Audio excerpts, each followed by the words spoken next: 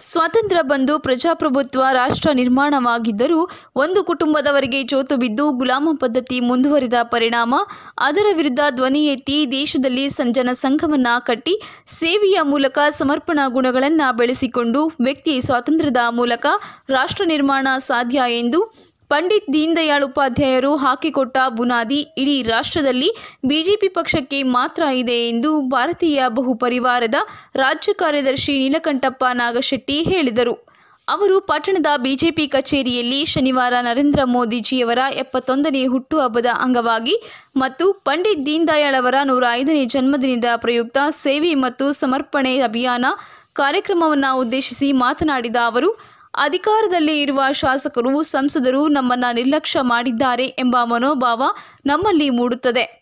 ಆದರೆ ಸಿದ್ಧಾಂತದ ವಿರುದ್ಧದ ನಿಲುವುಗಳನ್ನು ಧಿಕ್ಕರಿಸಿ ನೆಹರು ಸಚಿವ ಸಂಪುಟದಿಂದ ಹೊರಬಂದು ಜನಸಂಘ ಸ್ಥಾಪಿಸಿದ ಶ್ಯಾಮ್ ಪ್ರಸಾದ್ ಮುಖರ್ಜಿಯವರಂತಹ ತ್ಯಾಗ ಗುಣಗಳನ್ನು ನಾವೆಲ್ಲ ಅಳವಡಿಸಿಕೊಳ್ಳುವುದರ ಜೊತೆಗೆ ರಾಮಾಯಣ, ಮಹಾಭಾರತದಂತಹ ಮಹಾಕಾವ್ಯಗಳನ್ನು ಅಭ್ಯಸಿಸುವ ಮೂಲಕ ನಾವು ಜಾಗೃತರಾಗಬೇಕಾಗಿದೆ ಎಂದರು.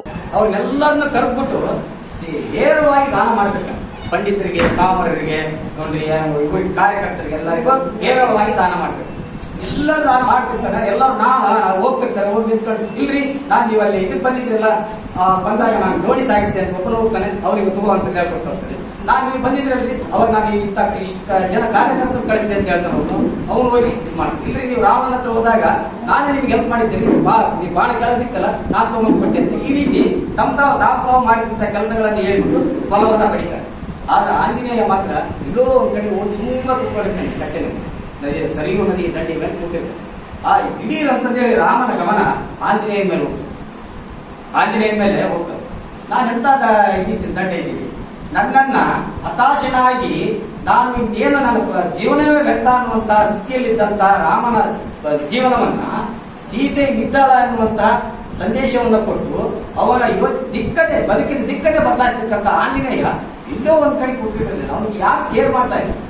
ಅದೊಂದು ಗೋತಿ ಅಂತ ಹೇಳ್ತಾ ಇದು ಮಾಡಿದ್ದಿಲ್ಲ ಈ ರೀತಿ ಮಾಡಿದಾಗ ಇವ್ರು ರಾಮನಿಗೆ ದಿಢೀರ ಫ್ಲಾಶ್ ಆಗಿ, ಹೌದಲ್ಲ, ನನ್, ನನಗೆಲ್ಲ ಬದುಕಿ ಕೊಟ್ಟು ನನ್ನ ಸೀತಾದೇವಿಯನ್ನ ಇದು ಮಾಡಿ ಅಳಿಸಿಕೊಟ್ಟಂತ ಇವನು ಯಾರು, ಆಂಜನೇಯ, ಸೇತುವೆ ಕಟ್ಟಿದ, ಸಮುದ್ರ ಉಲ್ಲಂಘನ ಮಾಡಿದ, ಇಷ್ಟೆಲ್ಲ ಮಾಡಿ ನನಗೆ ಸಹಾಯ ಮಾಡಿದ, ನಾನು ಅವನ್ನ ಯಾಕೆ ಗಮನಿಸಲಿಲ್ಲಲ್ಲ?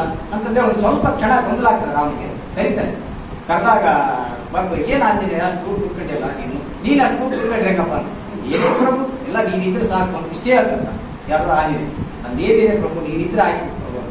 ಅವಾಗ ರಾಮನಿಗೆ ತಡ್ಕೊಳಕ್ಕಾಗೋದಿಲ್ಲ. ದಿಢೀರ್ ಅಂತ ಕೊಡಲಿಲ್ಲ. ಕೊಡೋದಕ್ಕೆ ಆಂಜನೇಯ ನೋಡಿದ ತಟ್ಟು ಕೊಡೋದಕ್ಕೆ ಏನಾಗಿರುತ್ತೆ? ಎಲ್ಲ ಕಾರ್ಯಕರ್ತರು ಕೊಟ್ಕೊಂಡಿರ್ತಾನೆ ಏನೂ ಇರಲ್ಲ.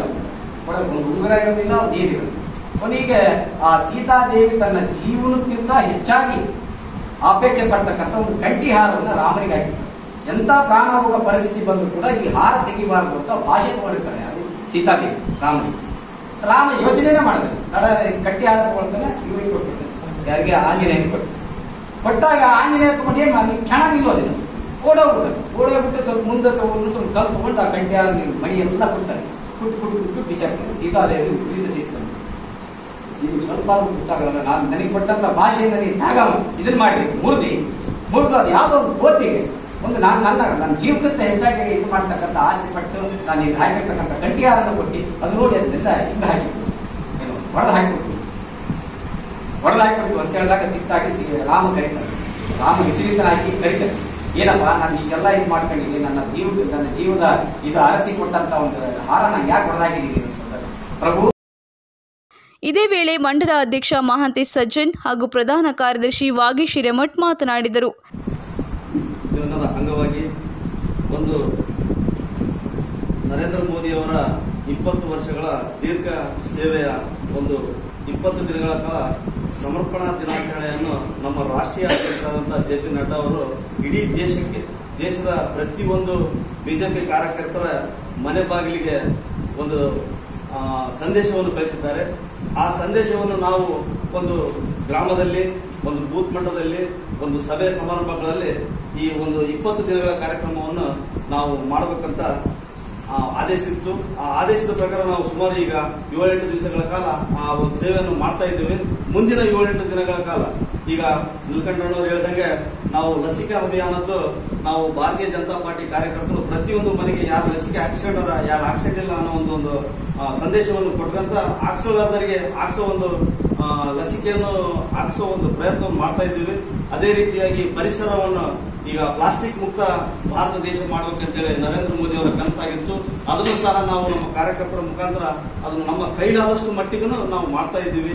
ಅದೇ ರೀತಿಯಾಗಿ ನಮ್ಮ ಪಂಡಿತ್ ದೀನ್ ದಯಾಳ್ರವರು ಜನಸಂಘ ಒಂದು ಸಂಘವನ್ನು ಮುಟ್ಟಾಕಿದಂಥ ಮಹಾನ್ ಧೀಮಂತ ನಾಯಕರು. ಇವತ್ತಿನ ದಿನ ನಮ್ಮ ಭಾರತೀಯ ಜನತಾ ಪಾರ್ಟಿ ಮೊದಲು ಜನಸಂಘ, ಇವತ್ತು ಭಾರತೀಯ ಜನತಾ ಪಾರ್ಟಿ.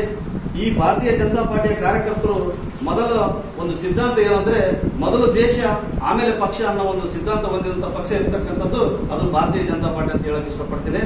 ಅದೇ ರೀತಿಯಾಗಿ ಮುಂದಿನ ದಿನಮಾನಗಳಲ್ಲಿ ನಮ್ಮ ಪಂಡಿತ್ ದೀನ್ ದಯಾಳ್ ಉಪಾಧ್ಯಾಯರಿರಲಿ ಮೋದಿಯವರಿರಲಿ ಹಾಗೂ ಶ್ಯಾಮ್ ಪ್ರಸಾದ್ ಅವರ ಒಂದು ಹಾಕಿಕೊಟ್ಟಂತ ಮಾರ್ಗದಲ್ಲಿ ನಾವೆಲ್ಲರೂ ದೇಶವನ್ನು, ಸದೃಢ ದೇಶವನ್ನಾಗಿ ಮಾಡಲು ನಾವೆಲ್ಲ ಪಣ ತೊಡಬೇಕಂತ ಹೇಳುತ್ತಾ ಈ ಸಂದರ್ಭದಲ್ಲಿ ಬಿಜೆಪಿ ಪಕ್ಷದ ಎಲ್ಲಾ ಮೋರ್ಚಾಗಳ ಅಧಿಕಾರಿಗಳು ಅಪೇಕ್ಷಿತರು. ಅಪೇಕ್ಷಿತರು ಪ್ರಮುಖರು ಇದ್ದರು.